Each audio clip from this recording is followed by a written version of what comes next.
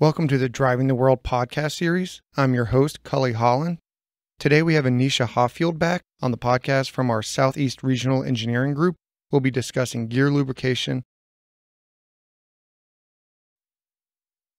Hey, Anecia, thanks for joining us again. Hey, glad to be back. Awesome. So today we're going to talk a little bit, a little bit about our gear lubrications and how they relate to uh, some of the failures that might occur in the field. So we're just going to jump right in because, as one of our previous podcasts talked about, and a lot of our customers know, we have multiple mounting positions ranging from M1 to M6, and I have a feeling they might relate to our gear lubrication and some things that might go awry in the field. Yeah. So, first of all, the importance of the mounting position is to cover all those gears in oil. So, every mounting position has the right amount of oil to cover all the gears, make sure everyone's lubricated and working how it should. It also takes an effect of the breather and making sure it's in the right proper position to release how it should whenever pressure builds up. So, we're already talking about it. We have some lubrication and we have a breather for pressure.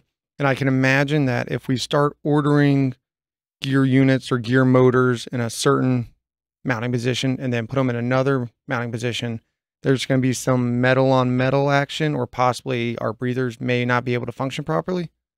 Right. So, whenever you order a gearbox for a certain level, say it's M1, it's going to have a lot less oil than an M4, which the gearbox standing up in that case, all the oil is going to go down to the bottom and the pinion gear up at the top is going to be completely dry. At that point, you're going to get metal on metal and you're going to see extreme heat on those two gears, on the pinion gear and the number two gear. The shaft is going to get extremely hot on the motor and you'll actually start to see metal deformation on both the number two wheel and the pinion gear. So whenever you're changing mounting positions, it's always good to make sure you're supplying the correct amount of oil with the new mounting position. So it sounds like incorrect mounting position equals additional heat, and uh, additional heat is a not good situation for uh, running our gear motors at any speed. Yep. And uh, we briefly mentioned the breather, and you said for it to function properly, it is placed in the gearbox dependent on the mounting position. So what could happen? Let's say the mounting position is not what the customer ordered, so now it's in a different orientation, and the breather is at the bottom of the gearbox. What what is that going to do to our gear motor?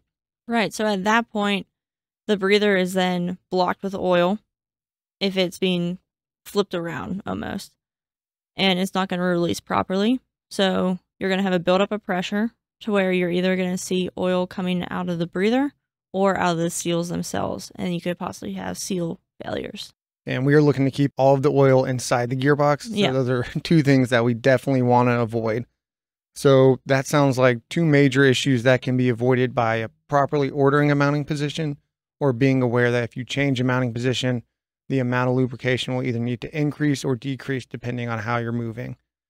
And so we got that covered. And I'm just thinking back back to some applications I've seen and I know our gear motors go anywhere from freezers all the way up to sitting right next to ovens and bakeries. Mm-hmm. So I can't imagine the lubrication is going to be the same for a gear motor and a freezer, as well as one sitting next to a thousand degree oven. Yeah. So you have very two extreme environments there. Right. And the difference there is going to be the different viscosities in the gear motors. Um, with a freezer application, you're co- overcoming the oil almost freezing and downtime, having to overcome that.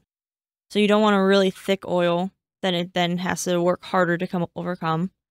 Then when you're over by a heater, you're then it's super hot. So you need an oil that's going to withstand that temperature. And so, just talking about different ambient temperatures and how they affect the oil, of course, mounting position is still going to have all the factors play in. But do our customers have options and different kind of lubrications for some of these extremes, or is it kind of one size fit all and we just make it work? Yeah. So we have a ton of different options. So if you're inside with just a normal ambient temperature, kind of room temperature, we're probably going to recommend mineral oil. Okay. depending on how fast the gearbox is running. Um, if you're in a freezer, it's probably going to be more of a synthetic with a different type of viscosity. And then if you're in um, like close to an oven with an extreme heat, you're also going to get a synthetic oil, but again, a different type of viscosity to handle the extreme heat. Okay, so it sounds like the ambient temperature is definitely something our customers need to relay to us when we're sizing gearboxes yep. so that we can get the proper lubrication the first time, first go around. Yeah. And especially because whenever you do, if you have a mineral oil and you put it out in the hot sun and it's over baking the oil, it's going to deform and it's going to cause those same issues that we saw with it pretty much running dry as well. So if it's missized or misused, there's going to be a breakdown of the oil and it won't be able to fu- function function properly. Yep. Okay. So with our lubrications, is there anything we need to consider about how often they get changed? Yeah, so it's super important to we have an oil chart where it's going to tell you where your oil bath temperature sits and how many hours you run for. And it also depends on the oil. So mineral oil is going to have to be changed faster than synthetic oil. And depending on the temperature as well. So that's super important to know how hot your gearbox is getting whenever you're taking in mind of oil changes.